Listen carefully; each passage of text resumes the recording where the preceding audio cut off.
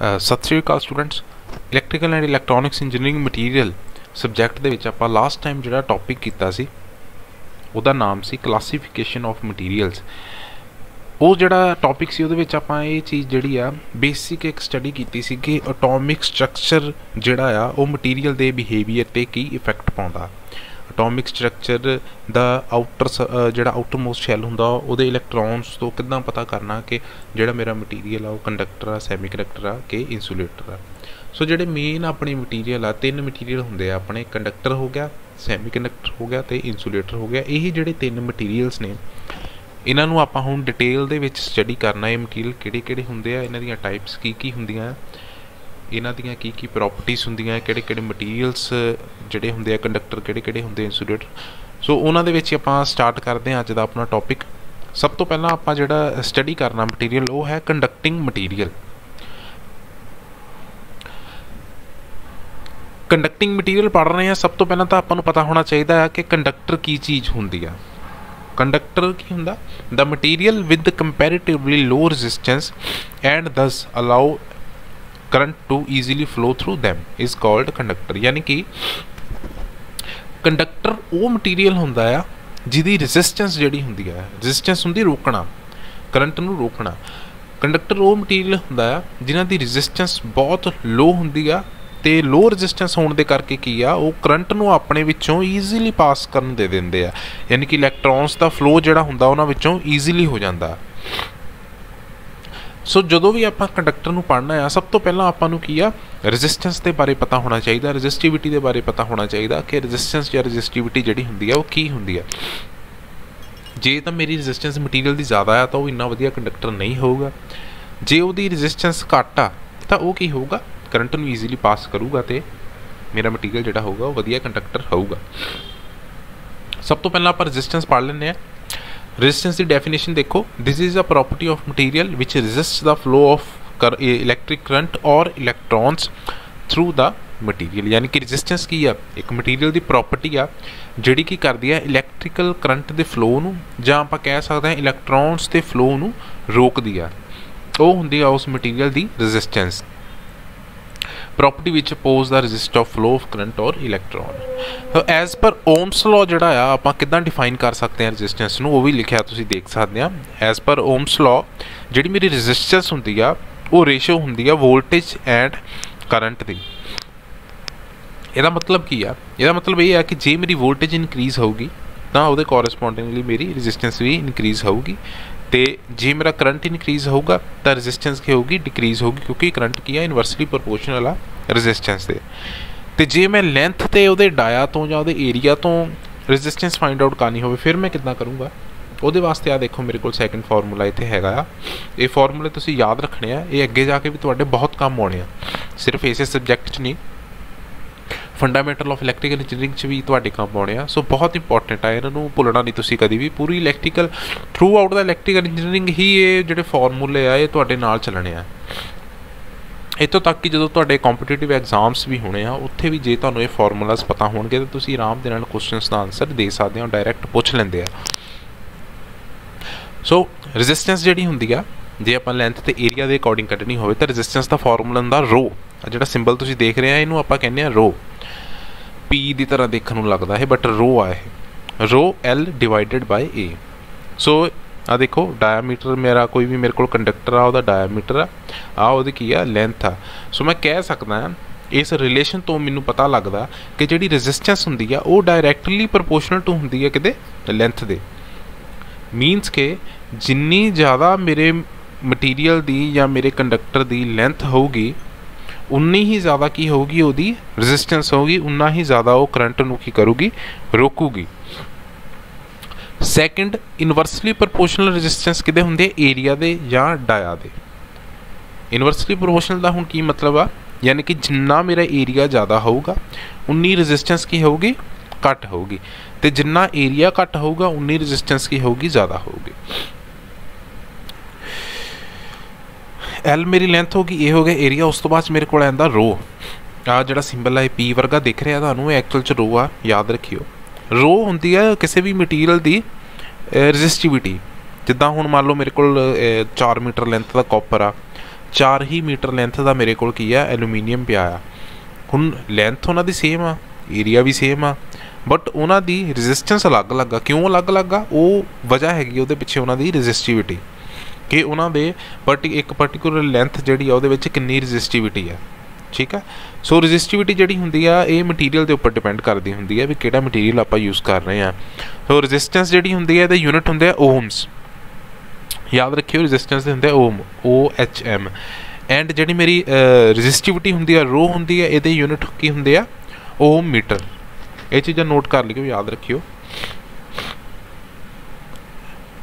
Next ਆਪਾਂ ਚੱਲਦੇ ਹਾਂ ਫੈਕਟਰ ਅਫੈਕਟਿੰਗ ਰੈਜ਼ਿਸਟਿਵਿਟੀ ਯਾਨੀ ਕਿ ਕਿਹੜੇ ਕਿਹੜੇ ਫੈਕਟਰਸ ਆ ਜਿਹੜੇ ਮੇਰੀ ਰੈਜ਼ਿਸਟਿਵਿਟੀ ਹੁੰਦੀ ਆ, ਉਹਨੂੰ ਇਫੈਕਟ ਕਰਦੇ ਆ। ਸਭ ਤੋਂ ਪਹਿਲਾਂ ਮੇਰੇ ਕੋਲ ਆ ਜਾਂਦਾ ਫੈਕਟਰ ਜਿਹੜਾ ਮੇਰੀ ਰੈਜ਼ਿਸਟੈਂਸ ਨੂੰ ਜਾਂ ਰੈਜ਼ਿਸਟਿਵਿਟੀ ਨੂੰ ਇਫੈਕਟ ਕਰਦਾ, ਉਹ ਹੈ ਟੈਂਪਰੇਚਰ ਟੈਂਪਰੇਚਰ ਦਾ ਇਫੈਕਟ ਜਿਹੜਾ ਹੁੰਦਾ ਨਾ, ਉਹ ਹਰ ਮਟੀਰੀਅਲ ਦੇ ਉੱਪਰ ਅਲੱਗ-ਅਲੱਗ ਹੁੰਦਾ। ਕੰਡਕਟਰਸ ਦੇ ਉੱਪਰ ਅਲੱਗ ਹੁੰਦਾ ਅਲੋਇਸ ਤੇ ਅਲੱਗ ਹੁੰਦਾ, ਉਹ ਆਪਾਂ ਤੁਹਾਨੂੰ ਦੱਸਦੇ ਆ। ਜੇ ਤਾਂ ਮੇਰਾ ਕੰਡਕਟਰ ਆ ਕੰਡਕਟਰ ਆ ਮੰਨ ਲਓ, ਮੇਰੇ ਕੋਲ ਕਾਪਰ ਮਟੀਰੀਅਲ ਆ। ਜੇ ਮੈਂ ਹੁਣ ਕਾਪਰ ਮਟੀਰੀਅਲ ਦਾ ਜਾਂ ਕੰਡਕਟਰ ਦਾ ਟੈਂਪਰੇਚਰ ਇਨਕਰੀਜ਼ ਕਰ ਰਿਹਾ ਨਾ, ਵਧਾ ਰਿਹਾ, ਤਾਂ ਉਹਦੀ ਰੈਜ਼ਿਸਟਿਵਿਟੀ ਕੀ ਹੋਗੀ ਉਹ ਵੀ ਇਨਕਰੀਜ਼ ਹੋਊਗੀ। ਯਾਨੀ ਕਿ ਜੇ ਮੈਂ ਆਪਣੇ ਕਿਸੇ ਕੰਡਕਟਰ ਨੂੰ ਗਰਮ ਕਰ ਰਿਹਾ ਨਾ, ਤਾਂ ਇਹਦਾ ਮਤਲਬ ਕਿ ਉਹ ਕੰਡਕਟਰ ਜਿਹੜਾ ਬੁਰਾ ਕੰਡਕਟਰ ਬਣ ਰਿਹਾ ਹੌਲੀ ਹੌਲੀ ਉਹਦੀ ਜਿਹੜੀ ਰੈਜ਼ਿਸਟਿਵਿਟੀ ਆ, ਉਹ ਕੀ ਹੋ ਰਹੀ ਹੈ ਇਨਕਰੀਜ਼ ਹੋ ਰਹੀ ਆ।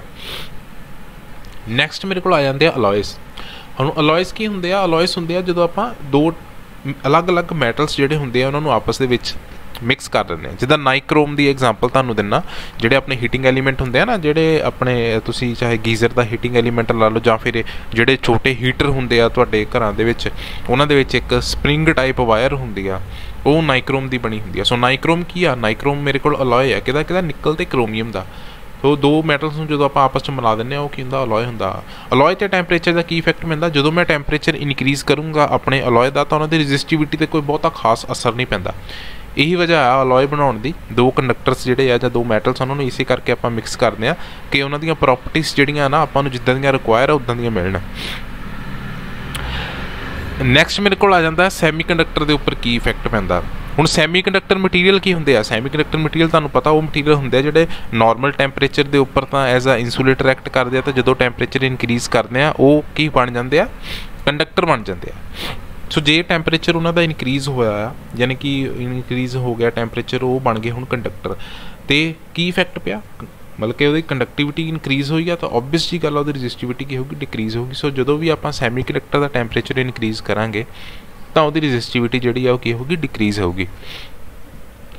ਨੈਕਸਟ ਇਨਸੂਲੇਟਰ ਇਨਸੂਲੇਟਰ ਆਪਣੇ, ਤੁਹਾਨੂੰ ਪਤਾ ਇਨਸੂਲੇਟਿੰਗ ਮਟੀਰੀਅਲ ਜਿਹੜੀ ਵਾਇਰਸ ਦੇ ਉੱਪਰ ਆਪਾਂ PVC ਦੀ ਇੱਕ ਕੋਟਿੰਗ ਲਾਈ ਹੁੰਦੀ, ਉਹ ਵੀ ਇਨਸੂਲੇਟਰ ਹੁੰਦਾ। ਆਪਾਂ ਟਰਾਂਸਮਿਸ਼ਨ ਲਾਈਨ ਦੇ ਵਿੱਚ ਪਿਨ ਟਾਈਪ ਇਨਸੂਲੇਟਰ ਵੱਡੇ ਯੂਜ਼ ਕਰਦੇ ਆ ਬਰਾਊਨ ਕਲਰ ਦੇ ਤੁਸੀਂ ਦੇਖੇ ਹੋਣਗੇ, ਕਈ ਜਗ੍ਹਾ ਤੇ ਲੱਗੇ। ਹਰ ਜਗ੍ਹਾ ਤੇ ਲੱਗੇ ਹੁੰਦੇ ਆ, ਕਈ ਜਗ੍ਹਾ ਤੇ ਕੀ, ਹਰ ਜਗ੍ਹਾ ਤੇ ਲੱਗੇ ਹੁੰਦੇ ਆ। ਉਹ ਵੀ ਇਨਸੂਲੇਟਰ ਹੀ ਹੁੰਦੇ ਆ। ਸੋ ਉਹਨਾਂ ਦੇ ਉੱਪਰ ਟੈਂਪਰੇਚਰ ਦਾ ਕੀ ਇਫੈਕਟ ਪੈਂਦਾ? ਉਹਨਾਂ ਦੇ ਉੱਪਰ ਜਦੋਂ ਵੀ ਆਪਾਂ ਟੈਂਪਰੇਚਰ ਉਹਨਾਂ ਦਾ ਇਨਕਰੀਜ਼ ਕਰਦੇ ਆ ਤਾਂ ਉਹਨਾਂ ਦੀ ਰੈਜ਼ਿਸਟਿਵਿਟੀ ਜਿਹੜੀ ਆ ਡਿਕਰੀਜ਼ ਹੋਣ ਲੱਗ ਪੈਂਦੀ। ਯਾਨੀ ਕਿ ਤੁਸੀਂ ਕਹਿ ਸਕਦੇ ਆ ਆਪਣੀ ਪ੍ਰੋਪਰਟੀਜ਼ ਜਿਹੜੀ ਨਾ ਲੂਜ਼ ਕਰਨ ਲੱਗ ਪੈਂਦਾ ਤੇ ਮੋਸਟਲੀ ਇਦਾਂ ਹੀ ਹੁੰਦਾ। ਹੁਣ ਕੰਡਕਟਰ ਦੇ ਵਿੱਚ ਵੀ ਕੀ ਆ? ਕੰਡਕਟਰ ਵੈਸੇ ਤਾਂ ਰੈਜ਼ਿਸਟਿਵਿਟੀ ਕੀ ਹੈ ਇਹਦੀ ਘੱਟ ਹੋਣੀ ਚਾਹੀਦੀ ਆ। ਬਟ ਜਦੋਂ ਟੈਂਪਰੇਚਰ ਵਧਾਇਆ, ਇਹਦੀ ਰੈਜ਼ਿਸਟਿਵਿਟੀ ਕੀ ਹੋਗੀ ਇਨਕਰੀਜ਼ ਹੋ ਗਈ ਇਹ ਰੈਜ਼ਿਸਟਿਵਿਟੀ ਡਿਕਰੀਜ਼ ਹੋਣੀ ਚਾਹੀਦੀ ਆ ਬਟ ਟੈਂਪਰੇਚਰ ਵਧਣਾ ਇਨਕਰੀਜ਼ ਹੋ ਗਈ ਸੋ ਆਪਾਂ ਕਹਿ ਸਕਦੇ ਆ ਕੰਡਕਟਰ ਤੇ ਇਨਸੂਲੇਟਰ ਦੇ ਕੇਸ 'ਚ ਕੀ ਆ? ਕਿ ਇਹ ਆਪਣੀਆਂ ਪ੍ਰੋਪਰਟੀਆਂ ਨੂੰ ਲੂਜ਼ ਕਰ ਜਾਂਦੇ ਆ ਜਦੋਂ ਵੀ ਟੈਂਪਰੇਚਰ ਇਨਕਰੀਜ਼ ਹੁੰਦਾ। ਜਿਹੜਾ ਇਨਸੂਲੇਟਰ ਆ, ਉਹਦਾ ਟੈਂਪਰੇਚਰ ਵਧਾਇਆ ਉਹ ਕੰਡਕਟਰ ਹੌਲੀ ਹੌਲੀ ਬਣਨਾ ਸ਼ੁਰੂ ਹੋ ਜਾਊਗਾ, ਯਾਨੀ ਕਿ ਰੈਜ਼ਿਸਟਿਵਿਟੀ ਉਹਦੀ ਕੀ ਹੈ ਡਿਕਰੀਜ਼ ਹੋਣੀ ਸ਼ੁਰੂ ਹੋ ਜਾਊਗੀ। ਤੇ ਜੇ ਮੈਂ ਕਿਸੇ ਕੰਡਕਟਰ ਦਾ ਟੈਂਪਰੇਚਰ ਇਨਕਰੀਜ਼ ਕਰਦਾ, ਤਾਂ ਉਹਦੀ ਰੈਜ਼ਿਸਟਿਵਿਟੀ ਕੀ ਹੋਣੀ ਇਨਕਰੀਜ਼ ਹੋਣੀ ਸ਼ੁਰੂ ਹੁੰਦੀ ਉਹ ਇਨਸੂਲੇਟਰ ਬਣਨ ਲੱਗ ਪੈਂਦਾ। ਨੈਕਸਟ ਮੇਰੇ ਕੋਲ ਆਇਆ ਹੁਣ ਇੱਥੇ ਆਪਾਂ ਅਲੋਏ ਪੜਿਆ ਸੀ ਨਾ, ਸੋ ਆਪਾਂ ਅਲੋਏ ਦਾ ਵੀ ਜਿਹੜਾ ਹੁੰਦਾ ਨਾ, ਉਹ ਵੀ ਇਫੈਕਟ ਪੈਂਦਾ ਰੈਜ਼ਿਸਟਿਵਿਟੀ ਦੇ ਉੱਪਰ। ਸੋ ਸਭ ਤੋਂ ਪਹਿਲਾਂ ਆਪਾਂ ਅਲੋਇੰਗ ਪੜ ਲੈਣੇ ਵੀ ਅਲੋਇੰਗ ਚੀਜ਼ ਕੀ ਹੁੰਦੀ ਆ। The process of addition of small percentage of some other material into base material is called alloy ਯਾਨੀ ਕਿ ਕਿਸੇ ਹੋਰ ਮਟੀਰੀਅਲ ਦੀ ਛੋਟੀ ਜੀ ਪਰਸੈਂਟੇਜ ਜਦੋਂ ਆਪਾਂ ਮਿਕਸ ਕਰ ਦਿੰਨੇ ਆ ਕਿਸੇ ਬੇਸ ਮਟੀਰੀਅਲ ਦੇ ਵਿੱਚ ਤਾਂ ਉਹਨੂੰ ਆਪਾਂ ਕੀ ਕਵਾਂਗੇ? ਅਲੋਏ ਕਵਾਂਗੇ। ਸੋ ਬੇਸ ਮਟੀਰੀਅਲ ਜਿਹੜਾ ਹੁੰਦਾ ਨਾ, ਉਹਦੀ ਵੈਲਿਊ ਜਿਹੜੀ ਹੁੰਦੀ ਆ ਹਮੇਸ਼ਾ ਜ਼ਿਆਦਾ ਹੀ ਹੁੰਦੀ ਆ। ਹੁਣ ਫੋਰ ਐਗਜ਼ਾਮਪਲ ਸਟੀਲ ਆ ਮੇਰੇ ਕੋਲ। ਸਟੀਲ ਇੱਕ ਮੈਟਲ ਆ। ਸਟੀਲ ਦੇ ਵਿੱਚ ਆਪਾਂ ਕੀ ਕਰਦੇ ਆ ਥੋੜਾ ਜਿਹਾ ਉਹਨੂੰ ਮਜ਼ਬੂਤ ਕਰਨ ਵਾਸਤੇ ਉਹਦੇ ਵਿੱਚ ਆਪਾਂ ਕਾਰਬਨ ਮਿਕਸ ਕਰ ਦਿੰਨੇ ਆ ਸੋ ਇਹਦੇ ਵਿੱਚ ਬੇਸ ਮਟੀਰੀਅਲ ਕੀ ਹੋਇਆ? ਬੇਸ ਮਟੀਰੀਅਲ ਮੇਰਾ ਹੋਇਆ ਸਟੀਲ ਠੀਕ ਆ? ਬੇਸ ਮਟੀਰੀਅਲ ਕੀ ਹੋਇਆ ਮੇਰਾ? ਸਟੀਲ ਹੋਇਆ। ਕੰਟੈਂਟ ਜਿਹੜਾ ਆਪਾਂ ਉਹਦੇ ਵਿੱਚ ਥੋੜਾ ਜਿਹਾ ਐਡ ਕੀਤਾ, ਉਹ ਕਾਰਬਨ ਦਾ ਐਡ ਕੀਤਾ। ਬਟ ਜਿਹੜਾ ਮੇਰੇ ਕੋਲ ਓਵਰਆਲ ਮਟੀਰੀਅਲ ਬਾਹਰ ਨਿਕਲ ਕੇ ਆਇਆ, ਉਹਨੂੰ ਮੈਂ ਕੀ ਕਹੂੰਗਾ?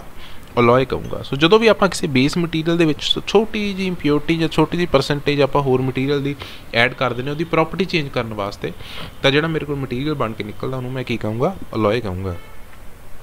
ਅਲੋਇੰਗ ਕਰਨ ਦੇ ਨਾਲ ਇਫੈਕਟ ਕੀ ਪੈਂਦਾ? ਅਲੋਇੰਗ ਕਰਨ ਦੇ ਨਾਲ ਜਿਹੜਾ ਮੇਰਾ ਮਟੀਰੀਅਲ ਹੁੰਦਾ ਆ, ਉਹਦੀ ਮਕੈਨੀਕਲ ਸਟਰੈਂਥ ਜਿਹੜੀ ਹੁੰਦੀ ਆ, ਉਹ ਤਾਂ ਵੱਧ ਜਾਂਦੀ ਆ।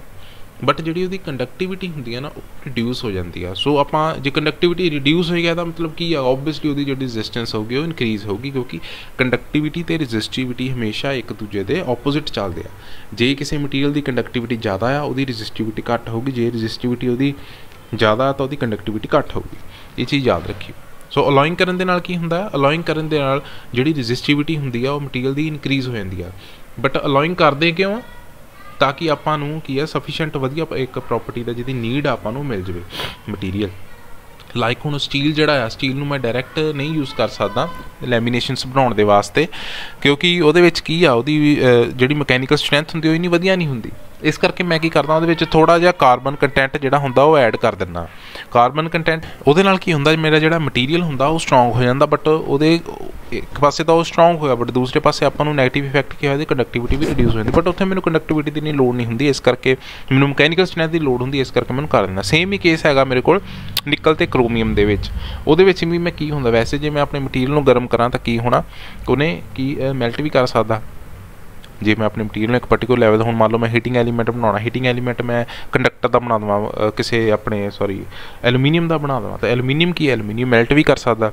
ਉਹਦੀ ਰੈਜ਼ਿਸਟੈਂਸ ਬਹੁਤ ਜ਼ਿਆਦਾ ਹੋ ਜਾਣੀ, ਉਹਨੇ ਸੜ ਜਾਣਾ। ਇਸੇ ਕਰਕੇ ਮੈਂ ਨਿਕਲ ਤੇ ਕਰੋਮੀਅਮ ਦੋਨਾਂ ਨੂੰ ਐਡ ਕਰਕੇ ਆਪਣਾ ਜਿਹੜਾ ਹੈ ਹੀਟਿੰਗ ਐਲੀਮੈਂਟ ਬਣਾਉਣਾ, ਜਿਹਨੂੰ ਮੈਂ ਜਿੰਨਾ ਮਰਜ਼ੀ ਗਰਮ ਕਰ ਲਵਾਂ। ਹੀਟਰ ਜਿਹੜਾ ਹੁੰਦਾ ਬਹੁਤ ਜ਼ਿਆਦਾ ਗਰਮ ਹੁੰਦਾ, ਸੋ ਉਹਨੂੰ ਕੀ ਹੈ, ਜਿੰਨਾ ਮਰਜ਼ੀ ਗਰਮ ਕਰਨਾ, ਉਹ ਗਰਮ ਨਹੀਂ ਹੋਊਗਾ ਕਦੀ ਵੀ ਮਟੀਰੀਅਲ ਸੋ ਆਪਾਂ ਮਟੀਰੀਅਲ ਜਿਹੜਾ ਇੱਕ ਪ੍ਰੋਡਕਟ ਜਿਹੜਾ ਅਚੀਵ ਕਰਨ ਵਾਸਤੇ ਆਪਣੀ ਰਿਕੁਆਇਰਮੈਂਟ ਦੇ ਅਕੋਰਡਿੰਗ ਆਪਾਂ ਜਿਹੜੀ ਆ ਲੋਇੰਗ ਕਰਦੇ ਆ ਬਟ ਇਹਦੇ ਨਾਲ ਮਕੈਨੀਕਲ ਸਟਰੈਂਥ ਤਾਂ ਵੱਧ ਜਾਂਦੀ ਹੈ ਜਾਂ ਹੋਰ ਪ੍ਰੋਪਰਟੀ ਉਹਦੀ ਇਨਕਰੀਜ਼ ਹੋਗੀ ਬਟ ਉਹਦੀ ਰੈਜ਼ਿਸਟਿਵਿਟੀ ਵੀ ਜਿਹੜੀ ਹੁੰਦੀ ਆ, ਨਾਲ ਦੀ ਨਾਲ ਇਨਕਰੀਜ਼ ਹੋ ਜਾਂਦੀ ਹੈ। ਜਿੱਦਾਂ ਇੱਕ ਐਗਜ਼ਾਮਪਲ ਵੀ ਦਿੱਤੀ, ਦੇਖੋ ਬ੍ਰੌਂਜ਼ ਕੀ ਆ? ਬ੍ਰੌਂਜ਼ ਅਲੋਏ ਹੈਗਾ ਕਾਪਰ ਤੇ ਟਿਨ ਦਾ। ਹੁਣ ਇਹ ਚ ਬੇਸ ਮਟੀਰੀਅਲ ਕੀ ਆ? ਬੇਸ ਮਟੀਰੀਅਲ ਮੇਰਾ ਹੈਗਾ ਕਾਪਰ ਤੇ ਐਡ ਮੈਂ ਕੀ ਕੀਤਾ? ਟਿਨ ਐਡ ਕੀਤਾ। ਸੋ ਇਹਨਾਂ ਦੋਨਾਂ ਨੂੰ ਮਿਲਾ ਕੇ ਮੈਨੂੰ ਬ੍ਰੌਂਜ਼ ਮਿਲਿਆ ਤੇ ਬ੍ਰੌਂਜ਼ ਕੀ ਆ? ਅਲੋਏ ਆ। ਇਹਦਾ ਕੀ ਹੋਊਗਾ ਇਫੈਕਟ ਇਹ ਮਕੈਨੀਕਲੀ ਤਾਂ ਸਟਰੋਂਗ ਹੋ ਜਾਊਗਾ ਬਟ ਜਿਹੜਾ ਬ੍ਰੌਂਜ਼ ਹੁੰਦਾ ਉਹਦੀ ਇਲੈਕਟ੍ਰੀਕਲ ਕੰਡਕਟਿਵਿਟੀ ਜਿਹੜੀ ਹੋਊਗੀ ਉਹ ਬਹੁਤ ਘੱਟ ਹੋਊਗੀ। ਸੋ ਇੱਕ 네ਗੇਟਿਵ ਇਫੈਕਟ ਵੀ ਹੁੰਦਾ ਬਟ ਉਹਦੀ ਪ੍ਰੋਪਰਟੀ ਜਿਹੜੀ ਆ ਆਪਣੀ ਨੀਡ ਦੇ ਅਕੋਰਡਿੰਗ ਉਹਨੂੰ ਮੋਡੀਫਾਈ ਕਹਿ ਲਓ ਵੀ ਕਰਨ ਵਾਸਤੇ ਆਪਾਂ ਕੀ ਕਰਦੇ ਆ? ਅਲੋਏ ਬਣਾਉਂਦੇ ਆ। ਜੋ ਮਕੈਨੀਕਲੀ ਸਟਰੋਂਗ ਹੁੰਦਾ ਹੈ ਜਿਹੜਾ ਆਪਣਾ ਇਲੈਕਟ੍ਰੀਕਲੀ ਕੀ ਹੁੰਦਾ, ਉਹ ਲੈਸ ਕੰਡਕਟਿਵ ਹੁੰਦਾ ਯਾਨੀ ਕਿ ਰੈਜ਼ਿਸਟੈਂਸ ਵੱਧ ਜਾਂਦੀ ਹੈ ਉਹਦੀ। ਸੋ ਬੇਸ ਮੈਟਲ ਇਹਦੇ ਵਿੱਚ ਕਾਪਰ ਹੁੰਦਾ, ਠੀਕ ਹੈ? ਸੋ ਸਟਰੈਂਥ ਜਿਹੜੀ ਆ, ਆਪਾਂ ਨੂੰ ਜ਼ਿਆਦਾ ਚਾਹੀਦੀ ਸੀ। ਇਸੇ ਕਰਕੇ ਆਪਾਂ ਕੀ ਕੀਤਾ ਇੱਥੇ? ਟਿਨ ਜਿਹੜਾ ਹੁੰਦਾ, ਉਹਦੇ ਵਿੱਚ ਆਪਾਂ ਐਡ ਕਰਤਾ।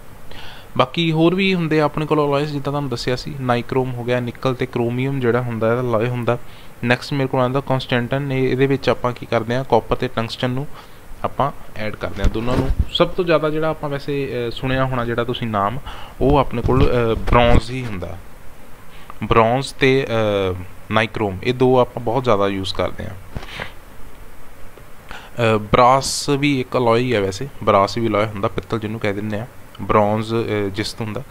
ਸੋ ਨਾਈਕ੍ਰੋਮ uh, ਵੀ ਆਪਾਂ ਬਹੁਤ ਯੂਜ਼ ਕਰ ਕਨਸਟੈਂਟਨ ਇਹਨਾਂ ਯੂਜ਼ ਨਹੀਂ ਕਰਦੇ ਪਰ ਨਾਈਕ੍ਰੋਮ ਆਪਾਂ ਜਿੰਨੇ ਵੀ ਆਪਣੇ ਯਾਦ ਰੱਖਿਓ ਹੀਟਿੰਗ ਐਲੀਮੈਂਟ ਹੁੰਦੇ ਆ ਮੋਸਟਲੀ ਨਾਈਕ੍ਰੋਮ ਦੇ ਬਣੇ ਹੁੰਦੇ ਚਾਹੇ ਉਹ ਗੀਜ਼ਰ ਦੇ ਵਿੱਚ ਲੱਗਾ ਹੋਵੇ, ਚਾਹੇ ਉਹ ਆਪਣਾ ਜਿਹੜਾ ਹੀਟਰ ਹੁੰਦਾ ਛੋਟਾ ਉਹਦੇ ਵਿੱਚ ਲੱਗਾ ਹੋਵੇ, ਸਾਰੇ ਨਾਈਕ੍ਰੋਮ ਦੇ ਬਣੇ ਹੁੰਦੇ ਆ। ਨੈਕਸਟ ਮੇਰੇ ਕੋਲ ਆ ਜਾਂਦਾ ਆ ਮਕੈਨੀਕਲ ਸਟ੍ਰੈਸ ਮਕੈਨੀਕਲ ਸਟ੍ਰੈਸ ਹੁਣ ਕੀ ਜੀ? ਮਕੈਨੀਕਲ ਸਟ੍ਰੈਸ ਆ ਮਤਲਬ ਕਿ ਜਦੋਂ ਵੀ ਆਪਾਂ ਕਿਸੇ ਮਟੀਰੀਅਲ ਨੂੰ ਮੰਨ ਲਓ ਸ਼ੇਪ ਦੇਣੀ ਆ, ਹੁਣ ਮੈਂ ਜੇ ਮੰਨ ਲਓ ਕਾਪਰ ਆ ਕਾਪਰ ਦਾ ਮੇਰੇ ਕੋਲ ਇੱਕ ਬਲੌਕ ਆ, ਉਹ ਮੈਂ ਕਾਪਰ ਦਾ ਬਲੌਕ ਇਦਾਂ ਤਾਂ ਨਹੀਂ ਨਾ ਯੂਜ਼ ਕਰੂੰਗਾ। ਉਹਦਾ ਕੀ ਕਰਨਾ ਪਊਗਾ? ਕਾਪਰ ਦੀਆਂ ਮੈਂ ਵਾਇਰਸ ਬਣਾਉਂਗਾ, ਠੀਕ ਆ? ਐਲੂਮੀਨੀਅਮ ਆ ਮੇਰੇ ਕੋਲ। ਐਲੂਮੀਨੀਅਮ ਦੀਆਂ ਮੈਂ ਵਾਇਰਸ ਵੀ ਬਣਾ ਸਕਦਾ ਆ ਐਲੂਮੀਨੀਅਮ ਦੀਆਂ ਮੈਂ ਸ਼ੀਟਸ ਵੀ ਬਣਾ ਸਕਦਾ ਸਟੀਲ ਆ ਸਟੀਲ ਦਾ ਕੀ ਆ? ਹੁਣ ਮੈਂ ਮੋਟਰ ਦੀ ਸਟੈਂਪਿੰਗ ਬਣਾਉਣੀ ਆ ਤਾਂ ਉਹਦੇ ਵਾਸਤੇ ਮੈਨੂੰ ਲੈਮੀਨੇਸ਼ਨ ਕਰਨੀ ਪੈਣੀ, ਉਹਨੂੰ ਕੱਟਣਾ ਪੈਣਾ, ਠੀਕ ਆ? ਸੋ ਇਹ ਸਾਰਾ ਪ੍ਰੋਸੈਸ ਜਿਹੜਾ ਹੁੰਦਾ ਆ ਵਾਇਰਸ ਬਣਾਉਣ ਦਾ ਸ਼ੀਟਸ ਬਣਾਉਣ ਦਾ ਜਾਂ ਜੋ ਵੀ ਆਪਾਂ ਕਰਨਾ ਆ, ਉਹਦੇ ਉੱਪਰ ਕੀ ਆ, ਆਪਾਂ ਨੂੰ ਮਕੈਨੀਕਲ ਕੰਮ ਕਰਨਾ ਪੈਂਦਾ, ਮਕੈਨੀਕਲ ਪ੍ਰੋਸੈਸ ਕਰਨਾ ਪੈਂਦਾ ਤਾਂ ਕਿ ਜਿਹੜਾ ਮੇਰਾ ਮਟੀਰੀਅਲ ਰਿਕੁਆਇਰਡ ਆ, ਮੈਨੂੰ ਉਹੀ ਮਿਲੇ। ਹੁਣ ਕਾਪਰ ਦਾ ਬਲੌਕ ਤਾਂ ਮੈਂ ਚੱਕ ਚੱਕ ਕੇ ਆਪਣੇ ਪਾਈਪਸ ਦੇ ਵਿੱਚ ਲਾ ਨਹੀਂ ਦਊਂਗਾ ਕੰਡਕਟਿੰਗ ਵਾਸਤੇ ਓਬਵੀਅਸਲੀ ਗੱਲ ਉਹਦੀਆਂ ਵਾਇਰਸ ਬਣਾਉਂਗਾ। ਸੋ ਇਹ ਸਾਰੇ ਜਿਹੜੇ ਮਟੀਰੀਅਲ ਹੁੰਦੇ ਆ ਮਕੈਨੀਕਲ ਪ੍ਰੋਸੈਸ ਦੇ ਵਿੱਚੋਂ ਪਾਸ ਆਊਟ ਹੁੰਦੇ ਆ, ਜਿਹਦੇ ਕਰਕੇ ਕੀ ਆ, ਉਹਨਾਂ ਦੇ ਉੱਪਰ ਬਹੁਤ ਜ਼ਿਆਦਾ ਮਕੈਨੀਕਲ ਸਟ੍ਰੈਸ ਪੈਂਦੀ ਆ। ਸੋ ਉਹ ਜਿਹੜੀ ਮਕੈਨੀਕਲ ਸਟ੍ਰੈਸ ਸਟ੍ਰੈਸ ਹੁੰਦੀ ਆ, ਉਹ ਵੀ ਇਹਨਾਂ ਦੀ ਰੈਜ਼ਿਸਟਿਵਿਟੀ ਦੇ ਉੱਪਰ ਇਫੈਕਟ ਪਾਉਂਦੀ ਆ। ਸੋ ਜਿੰਨੀ ਜ਼ਿਆਦਾ ਆਪਾਂ ਉੱਤੇ ਮਕੈਨੀਕਲ ਸਟ੍ਰੈਸ ਪਾਵਾਂਗੇ, ਉਨੀ ਜ਼ਿਆਦਾ ਕੀ ਹੋਊਗੀ, ਉਹਦੀ ਰੈਜ਼ਿਸਟਿਵਿਟੀ ਜਿਹੜੀ ਆ ਇਨਕਰੀਜ਼ ਹੋਊਗੀ ਹੀ ਹੋਊਗੀ। During drawing and rolling of metal tensile strength increases ਯਾਨੀ ਕਿ ਜਿਹੜੀ ਇਹਦੀ ਖਿੱਚਣ ਦੀ ਸ਼ਕਤੀ ਹੁੰਦੀ ਹੈ ਯਾਨੀ ਕਿ ਖਿੱਚ ਤਾਂ ਹੋ ਜਾਂਦੇ ਆ ਉਹ ਜਦੋਂ ਆਪਾਂ ਉਹਨੂੰ ਡਰਾ ਕਰਦੇ ਆ, ਉਹਨੂੰ ਡਰਾਇੰਗ ਦਾ ਮਤਲਬ ਹੁੰਦਾ ਟਾਲਣਾ। ਕਿਸੇ ਵੀ ਚੀਜ਼ ਨੂੰ ਢਾਲਣਾ ਜਾਂ ਪਗਲਾ ਕੇ ਉਹਨੂੰ ਨਵਾਂ ਰੂਪ ਦੇਣਾ, ਉਹਦੇ ਨਾਲ ਕੀ ਹੁੰਦਾ ਟੈਂਸਾਈਲ ਸਟਰੈਂਥ ਯਾਨੀ ਕਿ ਉਹਨੂੰ ਖਿੱਚ ਕੇ ਆਪਾਂ ਕਰ ਸਕਦੇ ਹਾਂ, ਲੰਬਾ ਕਰ ਸਕਦੇ ਹਾਂ, ਉਹਦੀਆਂ ਵਾਇਰਸ ਬਣਾ ਸਕਦੇ ਹਾਂ ਬਟ ਉਹਦੇ ਨਾਲ ਇਫੈਕਟ ਇਹ ਹੁੰਦਾ ਕਿ ਕੰਡਕਟਿਵਿਟੀ ਡਿਕਰੀਜ਼ ਹੋ ਜਾਂਦੀ ਹੈ ਤੇ ਰੈਜ਼ਿਸਟਿਵਿਟੀ ਜਿਹੜੀ ਆ ਉਹ ਇਨਕਰੀਜ਼ ਹੋ ਜਾਂਦੀ ਹੈ। ਸੋ ਮਕੈਨੀਕਲ ਸਟਰੈਂਥ ਦਾ ਇਹ ਇਫੈਕਟ ਹੁੰਦਾ। ਨੈਕਸਟ ਆ ਗਿਆ ਮੇਰੇ ਕੋਲ ਏਜ ਹਾਰਡਨਿੰਗ ਹੁਣ ਏਜ ਹਾਰਡਨਿੰਗ ਕੀ ਚੀਜ਼ ਹੁੰਦੀ ਹੈ? ਏਜ ਹਾਰਡਨਿੰਗ ਬੇਸਿਕਲੀ ਨਾ ਹੀਟ ਟ੍ਰੀਟਮੈਂਟ ਹੁੰਦਾ। ਜਿਹੜਾ ਕਿਸੇ ਵੀ ਮਟੀਰੀਅਲ ਨੂੰ ਆਪਾਂ ਮਜ਼ਬੂਤ ਬਣਾਉਣ ਵਾਸਤੇ ਉੱਤੇ ਕਰਦੇ ਆ ਲਾਈਕ ਜੇ ਮੈਂ ਸਟੈਂਪਿੰਗ ਦੀ ਐਗਜ਼ਾਮਪਲ ਦਵਾਂ ਸਟੈਂਪਿੰਗ ਜਿਹੜੀ ਮੋਟਰ ਦੇ ਵਿੱਚ ਸਟੈਂਪਿੰਗ ਹੁੰਦੀ ਹੈ ਨਾ ਸਟੈਂਪਿੰਗ ਹੁੰਦੀ ਹੈ, ਮੋਟਰ ਦਾ ਉਹ ਪਾਰਟ ਜਿਹਦੇ ਉੱਪਰ ਆਪਾਂ ਵਾਇਰਿੰਗ ਕਰਦੇ ਆ ਜਿਹਨੂੰ ਕੋਰ ਵੀ ਕਹਿ ਦਿੰਦੇ ਆਪਾਂ। ਜਦੋਂ ਵੀ ਮੈਂ ਜਿਹੜੀ ਸਟੈਂਪਿੰਗ ਹੁੰਦੀ ਆ ਉਹਨੂੰ ਮਜ਼ਬੂਤ ਬਣਾਉਣਾ ਆ, ਤਾਂ ਉਹਦੇ ਉੱਪਰ ਮੈਂ ਕੀ ਕਰਦਾ, ਬਹੁਤ ਸਾਰੇ ਪ੍ਰੋਸੈਸ ਕਰਦਾ ਇਨੀਲਿੰਗ ਕਰਦਾ, ਉਹਨਾਂ ਦੀ ਹਾਰਡਨਿੰਗ ਕਰਦਾ, ਉਹਦੇ ਵਾਸਤੇ ਉਹਨੂੰ ਕੀ ਕਰਦਾ, ਮੈਂ ਪੱਠੀ ਦੇ ਵਿੱਚ ਰੱਖ ਕੇ ਉਹਨੂੰ ਗਰਮ ਕਰਦਾ। ਠੀਕ ਆ? ਉਹਦੇ ਵਿੱਚ ਹੋਰ ਮਟੀਰੀਅਲ ਵੀ ਐਡ ਕਰਦਾ। ਸੋ ਉਹ ਜਿਹੜਾ ਵੀ ਹੀਟ ਟ੍ਰੀਟਮੈਂਟ ਹੁੰਦਾ ਨਾ ਸਾਰਾ ਮਟੀਰੀਅਲ ਨੂੰ ਮਜ਼ਬੂਤ ਬਣਾਉਣ ਵਾਸਤੇ, ਉਹਨੂੰ ਸਟਰੋਂਗ ਕਰਨ ਵਾਸਤੇ, ਉਹਨੂੰ ਮੈਂ ਕਹਿੰਦਾ ਏਜ ਹਾਰਡਨਿੰਗ ਸੋ ਜਿਹੜੀ ਏਜ ਹਾਰਡਨਿੰਗ ਆ, ਇਹਦੇ ਨਾਲ ਵੀ ਜਿਹੜੀ ਮੇਰੀ ਰੈਜ਼ਿਸਟਿਵਿਟੀ ਹੁੰਦੀ ਹੈ ਮਟੀਰੀਅਲ ਦੀ, ਉਹ ਇਨਕਰੀਜ਼ ਹੋ ਜਾਂਦੀ ਹੈ ਯਾਨੀ ਕਿ ਉਹ ਇੰਨਾ ਵਧੀਆ ਕੰਡਕਟਰ ਨਹੀਂ ਰਹਿ ਜਾਂਦਾ। ਬਟ ਹੁਣ ਆਪਾਂ ਨੂੰ ਪ੍ਰੋਡਕਟ ਨੀਡ ਦੇ ਅਕੋਰਡਿੰਗ ਚਾਹੀਦਾ ਨਾ, ਆਪਣੀ ਨੀਡ ਇਹ ਆ ਵੀ ਮਟੀਰੀਅਲ ਸਟਰੋਂਗ ਹੋਣਾ ਚਾਹੀਦਾ। ਸੋ ਉੱਥੇ ਜੇ ਆਪਾਂ ਹਾਰਡ ਏਜ ਹਾਰਡਨਿੰਗ ਕਰ ਵੀ ਦੇਵਾਂਗੇ, ਤਾਂ ਆਪਾਂ ਨੂੰ ਕੋਈ ਬਹੁਤਾ ਇਫੈਕਟ ਪੈਂਦਾ ਨਹੀਂ। ਇਹ ਸਾਰੇ ਕੀ ਸੀਗੇ? ਇਫੈਕਟ ਸੀਗੇ? ਰੈਜ਼ਿਸਟਿਵਿਟੀ ਦੇ ਉੱਪਰ। ਕਿਹੜੀਆਂ ਕਿਹੜੇ ਜਿਹੜੇ ਫੈਕਟਰਸ ਆ ਉਹ ਰੈਜ਼ਿਸਟਿਵਿਟੀ ਦੇ ਉੱਪਰ ਇਫੈਕਟ ਕਰਦੇ ਆ।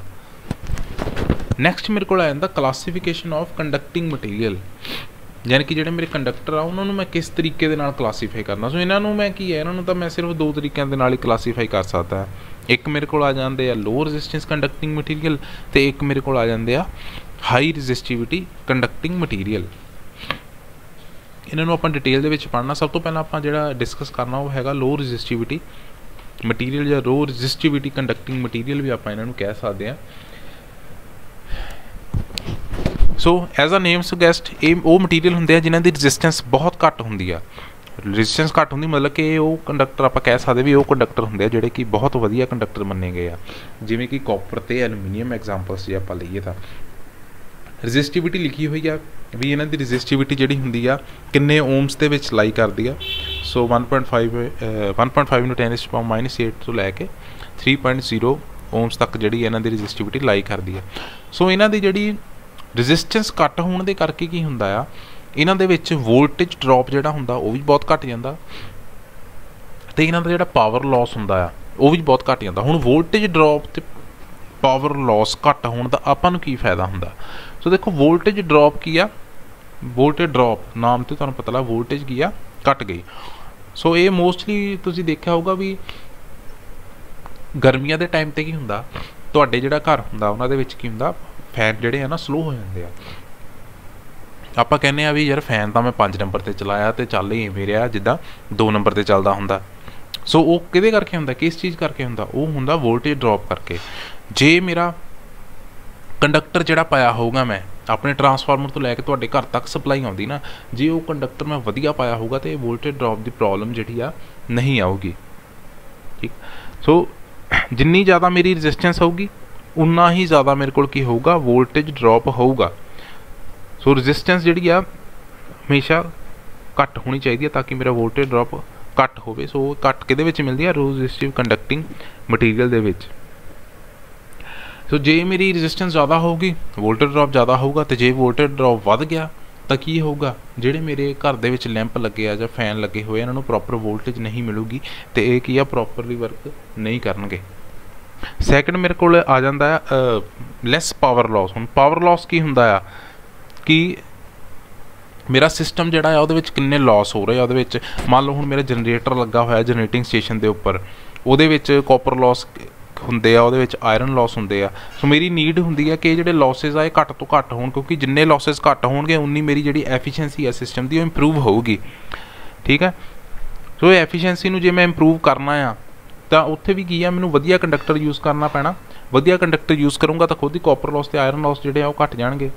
ਤੇ ਮੇਰੀ ਜਿਹੜੀ ਆਊਟਪੁੱਟ ਆ ਵਧੀਆ ਆਊਗੀ ਸੋ ਲੈਸ ਪਾਵਰ ਲਾਸਸ ਦਾ ਮਤਲਬ ਆ ਕਿ ਮੇਰੇ ਜਿਹੜੇ ਸਿਸਟਮ ਦੀ ਐਫੀਸ਼ੀਐਂਸੀ ਆ, ਉਹ ਵੀ ਇੰਪਰੂਵ ਹੋਗੀ so lower resistive conducting material ਜੇ ਆਪਾਂ ਯੂਜ਼ ਕਰਾਂਗੇ, ਤਾਂ ਮੇਰੇ ਘਰ ਦੇ ਵਿੱਚ ਵੋਲਟੇਜ ਵੀ ਪੂਰੀ ਆਊਗੀ, ਤਾਂ ਮੇਰੀ ਜਿਹੜੀ ਮੇਰਾ ਜਿਹੜਾ ਸਿਸਟਮ ਆ ਐਂਡ ਉਹਦੀ ਐਫੀਸ਼ੀਐਂਸੀ ਵੀ ਜਿਹੜੀ ਆ, ਉਹ ਕੀ ਹੋਊਗੀ? ਬਹੁਤ ਵਧੀਆ ਐਫੀਸ਼ੀਐਂਸੀ ਹੋਊਗੀ।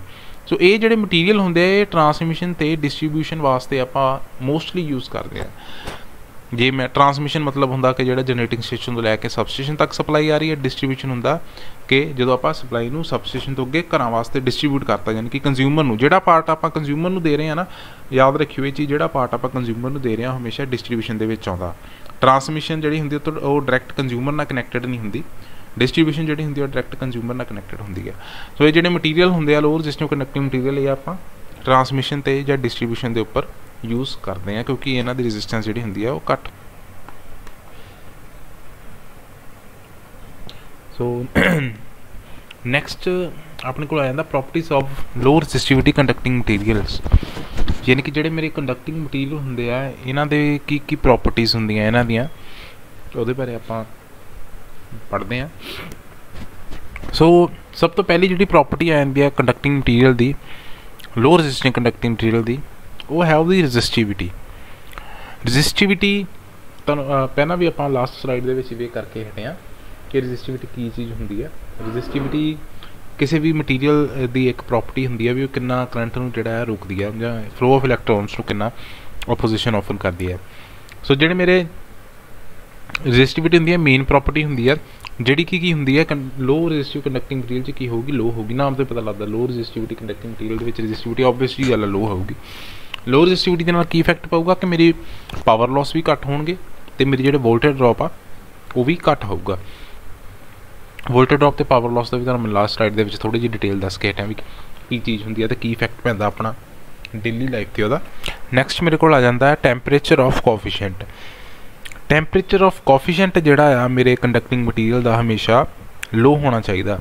ਲੋ ਹੋਣ ਦਾ ਮਤਲਬ ਆ ਐਕਚੁਅਲ ਚ ਟੈਂਪਰੇਚਰ ਕੋਫੀਸ਼ੀਐਂਟ ਹੁੰਦਾ ਹੈ ਟੈਂਪਰੇਚਰ ਆਫ ਕੋਫੀਸ਼ੀਐਂਟ ਜਿਹੜਾ ਹੁੰਦਾ ਉਹ ਇਹ ਹੁੰਦਾ ਕਿ ਟੈਂਪਰੇਚਰ ਦੇ ਚੇਂਜ ਹੋਣ ਨਾਲ ਜਿਹੜਾ ਮੇਰਾ ਕੰਡਕਟਿੰਗ ਮਟੀਰੀਅਲ ਆ, ਉਹਦੀ ਰੈਜ਼ਿਸਟਿਵਿਟੀ ਤੇ ਕੀ ਇਫੈਕਟ ਪੈਂਦਾ।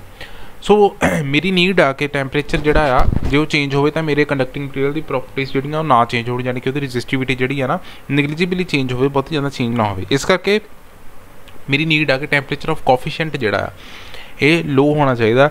ਜਦੋਂ ਵੀ ਮੈਂ ਕੰਡਕਟਿੰਗ ਮਟੀਰੀਅਲ ਜਿਹੜਾ ਆ, ਉਹਨੂੰ ਲੋ ਰੈਜ਼ਿਸਟਿਵ ਕੰਡਕਟਿੰਗ ਮਟੀਰੀਅਲ ਬਣਾ ਰਿਹਾ। ਨੈਕਸਟ ਮੇਰੇ ਕੋਲ ਆ ਜਾਂਦਾ ਹੈ ਡੈਂਸਿਟੀ ਡੈਂਸਿਟੀ ਨੂੰ ਪੰਜਾਬੀ ਚ ਸੰਘਣ ਦਾ ਵੀ ਕਹਿੰਦੇ ਆ ਮਟੀਰੀਅਲ ਕਿੰਨਾ ਸੰਘਣਾ। ਫੋਰ ਐਗਜ਼ਾਮਪਲ ਜੇ ਮੈਂ 에ਅਰ ਦੀ ਡੈਂਸਿਟੀ ਦੀ ਗੱਲ ਕਰਾਂ 에ਅਰ ਕੀ ਆ? ਬਹੁਤ ਹਲਕੀ ਆ। ਕਿਉਂ ਹਲਕੀ ਆ? ਕਿਉਂਕਿ ਦੀ ਜਿਹੜੀ ਡੈਂਸਿਟੀ ਆ, ਬਹੁਤ ਘੱਟ ਆ। ਉਹਦੇ ਵਿੱਚ ਨੈਕਸਟ ਜੇ ਮੈਂ ਮੈਟਲ ਦੀ ਗੱਲ ਕਰਾਂ ਮੈਟਲ ਦੀ ਜਿਹੜੀ ਡੈਂਸਿਟੀ ਹੁੰਦੀ, ਜ਼ਿਆਦਾ ਹੁੰਦੀ, ਕਿਉਂਕਿ ਉਹਦੇ ਐਟਮਸ ਜਿਹੜੇ ਆ ਮੋਲੀਕੂਲਰ ਸਟਰਕਚਰ ਜਿਹੜਾ ਹੁੰਦਾ ਆ, ਹਰ ਐਟਮ ਜਿਹੜਾ ਹੁੰਦਾ, ਇੱਕ ਦੂਜੇ ਨਾਲ ਜੁੜਿਆ ਹੁੰਦਾ ਉਸ ਕਰਕੇ ਉਹਦੀ ਕੀ ਆ ਡੈਂਸਿਟੀ ਜਿਹੜੀ ਹੁੰਦੀ ਆ, ਉਹ ਜ਼ਿਆਦਾ ਹੁੰਦੀ ਆ। ਸੋ ਡੈਂਸਿਟੀ ਦਾ ਪੁਆਇੰਟ ਆਪਾਂ ਇਹਦੇ ਵਿੱਚ ਕਿਉਂ ਮੈਂਸ਼ਨ ਕੀਤਾ ਵੀ ਕੀ ਕੀ ਪ੍ਰੋਪਰਟੀਜ਼ ਹੋਣੀਆਂ ਚਾਹੀਦੀਆਂ, ਉਹਦੇ ਵਿੱਚ ਡੈਂਸਿਟੀ ਵੀ ਇੱਕ ਪ੍ਰੋਪਰਟੀ ਆ, ਆਪਾਂ ਕਿਉਂ ਮੈਂਸ਼ਨ ਕੀਤਾ? ਕਿਉਂਕਿ ਡੈਂਸਿਟੀ ਜਿਹੜੀ ਆ ਨਾ ਮਟੀਰੀਅਲ ਦੀ, ਉਹਦੇ ਉੱਪਰ ਹੀ ਡਿਪੈਂਡ ਕਰਦਾ ਆ ਕਿ ਜਿਹੜਾ ਮੇਰਾ ਮਟੀਰੀਅਲ ਹੋਊਗਾ, ਉਹਦਾ ਕੀ weight ਹੋਊਗਾ। ਜਿੰਨੀ ਘੱਟ ਡੈਂਸਿਟੀ ਹੋਊਗੀ ਮਟੀਰੀਅਲ ਦੀ, ਉਨਾ ਹੀ ਉਹਦਾ weight ਘੱਟ ਹੋਊਗਾ। ਤੇ ਜਿੰਨੀ ਉਹਦੀ ਡੈਂਸਿਟੀ ਜ਼ਿਆਦਾ ਹੋਊਗੀ, ਉਨਾ ਹੀ ਉਹਦਾ weight ਕੀ ਹੋਊਗਾ? ਜ਼ਿਆਦਾ ਹੋਊਗਾ। ਸੋ ਡੈਂਸਿਟੀ ਜਿਹੜੀ ਹੈ ਘੱਟ ਹੋਣੀ ਚਾਹੀਦੀ ਹੈ ਮਤਲਬ ਕਿ ਜਿਹੜਾ ਮੇਰਾ ਮਟੀਰੀਅਲ ਆ, ਉਹ ਹਲਕਾ ਹੋਣਾ ਚਾਹੀਦਾ ਜੇ ਮੇਰੇ ਮਟੀਰੀਅਲ ਦੀ ਡੈਂਸਿਟੀ ਜ਼ਿਆਦਾ ਹੋਊਗੀ, ਤਾਂ ਉਹਦੇ ਨਾਲ ਕੀ ਹੋਊਗਾ? ਜਦੋਂ ਵੀ ਮੈਂ ਆਪਣੇ ਜਿਹੜਾ ਕੰਡਕਟਰ ਆ, ਇਹਨੂੰ ਮੈਂ ਟਰਾਂਸਮਿਸ਼ਨ ਲਾਈਨ 'ਚ ਜਾਂ ਡਿਸਟ੍ਰੀਬਿਊਸ਼ਨ ਲਾਈਨ 'ਚ ਯੂਜ਼ ਕਰੂੰਗਾ ਨਾ, ਤਾਂ ਸੈਗ ਜਿਹੜਾ ਹੁੰਦਾ ਉਹ ਵੱਧ ਜਾਣਾ। ਸੈਗ ਕੀ ਹੁੰਦਾ, ਉਹ ਵੀ ਤੁਹਾਨੂੰ ਥੋੜਾ ਜਿਹਾ ਮੈਂ ਐਗਜ਼ਾਮਪਲ ਦੇ ਦਿੰਦਾ। ਜਿੱਦਾਂ ਮੰਨ ਲਓ ਮੇਰੇ ਕੋਲੇ ਕਾਹਾ ਪੋਲ ਆ, ਇੱਕ ਮੇਰੇ ਕੋਲ ਆਹ ਪੋਲ ਆ ਆ ਇਹਨਾਂ ਦੋਨਾਂ ਦੇ ਵਿੱਚ ਕੰਡਕਟਰ ਆ। ਠੀਕ ਆ? ਆ ਕੰਡਕਟਰ ਆ ਵਿੱਚ। ਸੋ ਕੀ ਹੋਊਗਾ?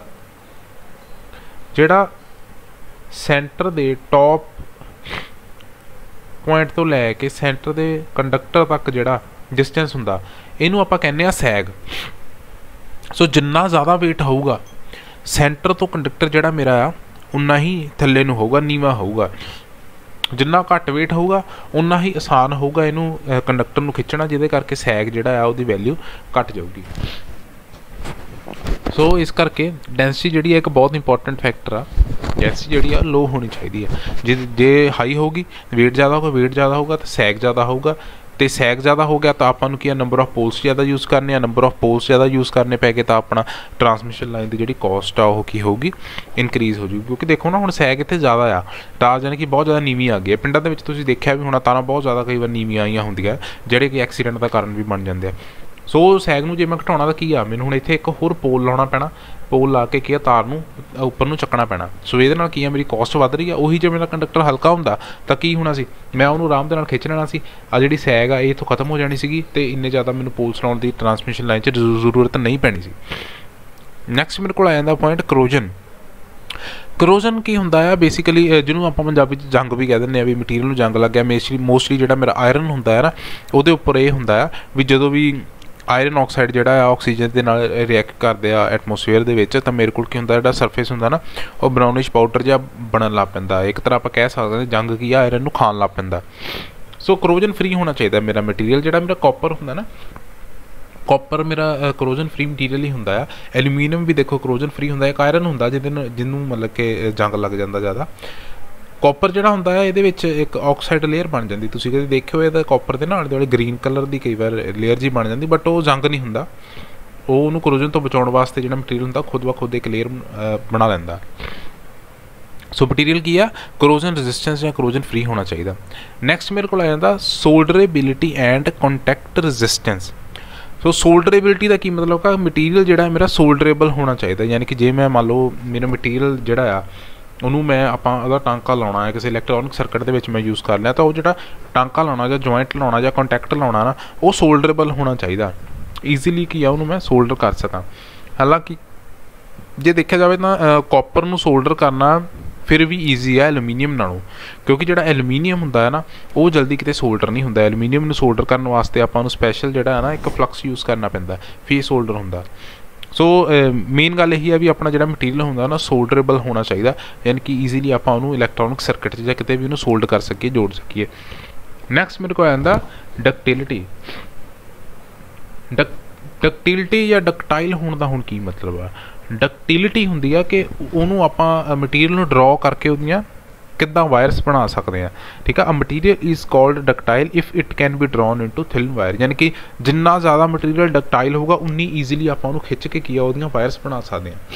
ਜੇ ਮੇਰਾ ਮਟੀਰੀਅਲ ਨਹੀਂ ਹੋਊਗਾ ਡਕਟਾਈਲ ਤਾਂ ਕੀ ਹੋਊਗਾ? ਉਹਨੂੰ ਮੈਂ ਸਹੀ ਤਰੀਕੇ ਨਾਲ ਖਿੱਚ ਨਹੀਂ ਸਕਦਾ ਤੇ ਉਹਦੀਆਂ ਜਿਹੜੀਆਂ ਵਾਇਰਸ ਆ ਉਹ ਮੈਂ ਈਜ਼ੀਲੀ ਨਹੀਂ ਬਣਾ ਸਕੂੰਗਾ, ਮੈਨੂੰ ਪ੍ਰੋਬਲਮਸ ਆਊਗੀ, ਜਾਂ ਮਟੀਰੀਅਲ ਟੁੱਟ ਜਾਊਗਾ। ਸੋ ਡਕਟਿਲਿਟੀ ਹੋਣੀ ਚਾਹੀਦੀ ਆ ਮੇਰੇ ਕੰਡਕਟਿੰਗ ਮਟੀਰੀਅਲ 'ਚ ਕਿਉਂਕਿ ਕੀ ਆ ਕੰਡਕਟਰ ਨੂੰ ਆਪਾਂ ਬੇਸਿਕਲੀ ਟਰਾਂਸਮਿਸ਼ਨ ਡਿਸਟ੍ਰੀਬਿਊਸ਼ਨ ਜਾਂ ਫਿਰ ਆਪਣਾ ਘਰ ਦਾ ਵਾਇਰਿੰਗ ਵਾਸਤੇ ਯੂਜ਼ ਕਰਨਾ ਹੁੰਦਾ। ਮੋਸਟਲੀ ਜੇ ਡਕਟਿਲਿਟੀ ਨਾ ਹੋਈ, ਇਹ ਪ੍ਰੋਪਰਟੀ ਨਾ ਹੋਈ ਉਸ ਮਟੀਰੀਅਲ ਦੇ ਵਿੱਚ, ਤਾਂ ਕੀ ਹੋਊਗਾ? ਉਹ, ਉਹਨੂੰ ਆਪਾਂ ਖਿੱਚ ਕੇ ਵਾਇਰ ਨਹੀਂ ਬਣਾ ਸਕਦੇ, ਤਾਂ ਆਪਣਾ ਕੀ ਆ? ਕੰਮ ਨਹੀਂ ਹੋਣਾ। ਆਪਣੇ ਕਿਸੇ ਕੰਮ ਦਾ ਨਹੀਂ ਰਹਿ ਜਾਣਾ ਉਹ ਮਟੀਰੀਅਲ ਸੋ ਇਸ ਕਰਕੇ ਡਕਟਿਲਿਟੀ ਹੋਣੀ ਚਾਹੀਦੀ ਹੈ ਤਾਂ ਕਿ ਮੈਂ ਕੀ ਕਰ ਸਕਾਂ ਉਹਨੂੰ ਖਿੱਚ ਕੇ, ਉਹਨੂੰ ਡਰਾ ਕਰਕੇ ਜਾਂ ਉਹਨੂੰ ਢਾਲ ਕੇ ਉਹਦੀਆਂ ਜਿਹੜੀਆਂ ਆ ਵਾਇਰਸ ਬਣਾ ਸਕਾਂ ਈਜ਼ੀਲੀ ਤੇ ਉਹਨੂੰ ਯੂਜ਼ ਦੇ ਵਿੱਚ ਲੈ ਕੇ ਆ ਸਕਾਂ। ਸੋ ਇਹ ਸੀਗਾ ਆਪਣਾ ਅੱਜ ਦਾ ਟੌਪਿਕ ਇਹ ਇੱਥੇ ਹੀ ਖਤਮ ਨਹੀਂ ਹੋਇਆ ਹਜੇ। ਆਪਾਂ ਇਹਨੂੰ ਅੱਗੇ ਵੀ ਡਿਸਕਸ ਕਰਾਂਗੇ। ਅੱਜ ਦੇ ਵਾਸਤੇ ਇਸ ਟੌਪਿਕ ਦੇ ਵਿੱਚ ਆਪਾਂ ਇੰਨਾ ਹੀ ਸਟੱਡੀ ਕਰਨਾ ਸੀ। ਨੈਕਸਟ ਟਾਈਮ ਆਪਾਂ ਸਟੱਡੀ ਕਰਾਂਗੇ ਵੀ ਕਿਹੜੇ ਕਿਹੜੇ ਤਰ੍ਹਾਂ ਦੇ ਆਪਣੇ ਲੋ ਰੈਜ਼ਿਸਟਿਵ ਕੰਡਕਟਿੰਗ ਮਟੀਰੀਅਲ ਹੁੰਦੇ ਆ। ਟੋਟਲ ਚਾਰ ਤਰ੍ਹਾਂ ਦੇ ਹੁੰਦੇ ਆ, ਜਿਨ੍ਹਾਂ ਨੂੰ ਆਪਾਂ ਡਿਟੇਲ ਦੇ ਵਿੱਚ ਸਟੱਡੀ ਕਰਾਂਗੇ, ਜਿਨ੍ਹਾਂ ਦੇ ਵਿੱਚ ਬੇਸਿਕ ਜਿਹੜੇ ਆ ਸਭ ਤੋਂ ਮੇਨ ਜਿਹੜੇ ਆ, ਉਹ ਕਾਪਰ ਤੇ ਐਲੂਮੀਨੀਅਮ ਵੀ ਹੈਗੇ ਆ। So thank you next lecture ਦੇ ਵਿੱਚ ਤੁਹਾਨੂੰ ਦੱਸਦੇ ਆ ਅੱਗੇ ਦੀ ਡਿਟੇਲ